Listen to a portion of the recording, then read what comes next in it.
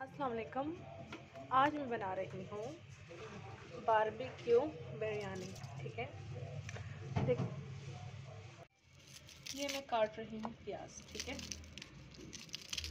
Cut ही नहीं रहा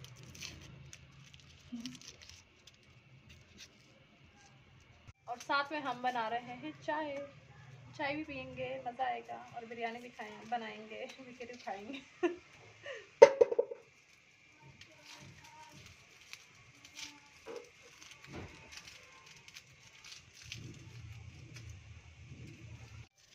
ये देखो, अब मैं ये प्याज काट रही हूँ, ठीक है? बिरयानी के लिए।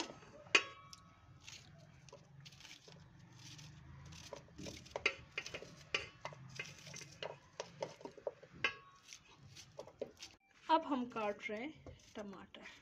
और ये मेरी चाय भी चाय भी तैयार हो गई है। मैं गोल गोल काटती हूँ, लेकिन ये ना ऐसा कट गया है। क्योंकि मुझे मुझे ऐसे टमाटर हाँ।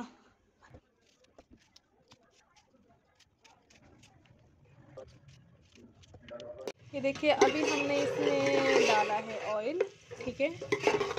हम इसको ब्राउन करेंगे और उसके बाद हम इसमें ऐड करेंगे है लहसुन, अदरक और लहसुन जब पक जाएगा, उसके बाद हम इसमें, हम आगे आपको बताते रहेंगे अब हम इसमें ऐड करेंगे लहसुन और अदरक, ठीक है? ये प्याज हमारे हो गए हैं ब्राउन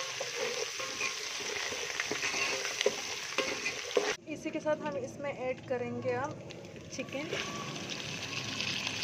ठीक है? अब ये हमारे इस तरह से हो गए हैं है? हमने क्योंकि इसको थोड़ा सा पकाया, ठीक है? अब हम इसमें ऐड करेंगे टमाटर।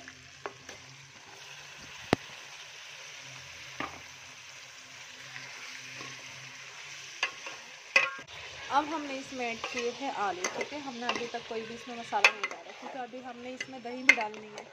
आलू इसलिए ऐड किए ताकि आलू भी इस गोश्त के साथ ही पक जाए मतलब गल जाए। आलू कच्चे होते हैं ना, ठीक है? अब मैं इसमें ऐड करूँगी बिरयानी, ठीक है? Oh sorry biryani masala. ठीक है, इसमें ऐड कर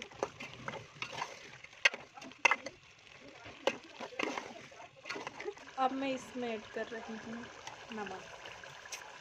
नमक तो अपने जायके के हिसाब से जितना भी ऐड कर लो। मैं तो फ़िलहाल अभी थोड़ा सा ऐड कर रही हूँ मतलब दो से तीन चम्मच, ठीक है? इसमें ऐड कर रही हूँ एक गिलास पानी। वो इसलिए मैं ऐड कर रही हूँ ताकि हमारे जो आलू हैं, अच्छी तरह से पक जाए, ठीक है?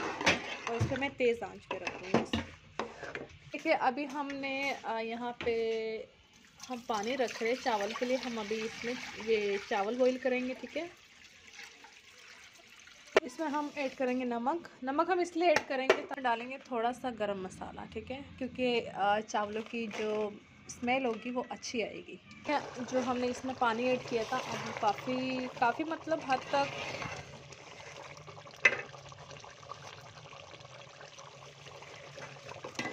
हम इसमें कर रहे हैं दही ऐड ठीक है? ये हम इत, इतना नहीं बस थोड़ा सा थोड़ा सा और डाल।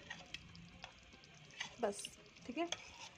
ये हमने ऐड किया। ज़्यादा नहीं मतलब तीन से चार चम्मच ठीक है? चावल का पानी भी बॉईल हो गया है ठीक है? और इसमें हमने ये मिर्ची ऐड की है ठीक है?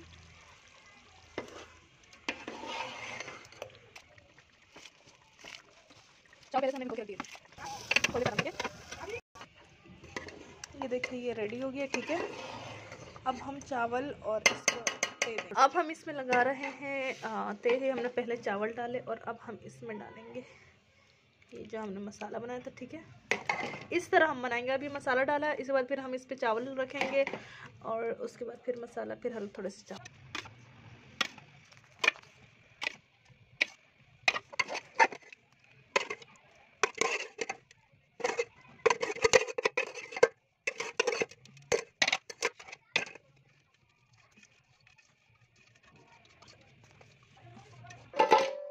दम पे रखेंगे। ठीक है? ढक के। ये देखो, ये हमने दम से हटाया और हमारी बिरयानी इतने मज़े की रेडी हो गई? कैसा? अच्छी है ना?